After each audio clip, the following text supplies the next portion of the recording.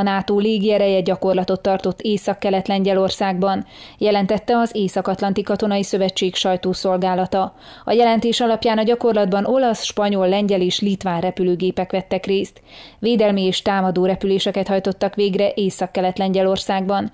A jelentések szerint a lengyel irányítóközpont ellenőrizte a vadászgépek repülését és légi utántöltését a lengyel légtérben, míg a NATO északi közös légi műveleti központja a németországi Jundenben felügyelte a gyakorlatot. A manővereket a NATO légi parancsnoksága készítette elő, a légi műveletek rugalmas megközelítésének tervezése, koordinálása, előkészítése és végrehajtása érdekében, amely demonstrálja a NATO csúcs technológiai képességeit.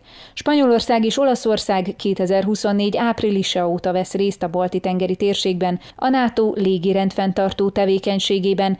Ezt a feladatot a korábbi időszakban Magyarország látta el a rotációs elv alapján.